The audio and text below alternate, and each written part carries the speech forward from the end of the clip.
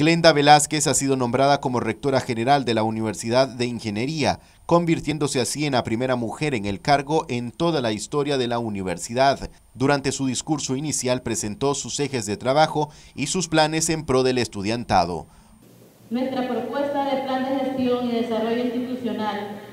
que presentó nuestra rectoría para el periodo 2022-2026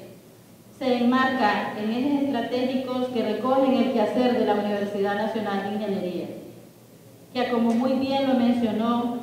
nuestro rector saliente, Máster Néstor Alberto Gallo Celedón, dan respuesta y pervivencia a nuestra meta de ser y continuar siendo la institución heredera de 81 años de la enseñanza de las ingenierías y la arquitectura en nuestro país, que en nuestro plan de gestión Hemos realizado una lista de ejes estratégicos entre los que sobresalen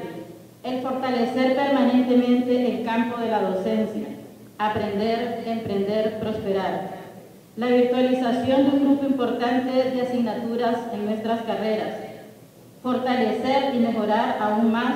la calidad educativa y la efectividad de nuestros procesos de enseñanza-aprendizaje, incorporando más tecnología más acciones de extensión e investigación aplicada según el contenido de nuestras asignaturas en los niveles de pregrado, grado y posgrado, teniendo como guía los ejes de desarrollo económico, tecnológico y social de nuestro país, que se establecen en nuestro Plan Estratégico 2020-2030. Es por ello que nos planteamos seguir trabajando con mayor énfasis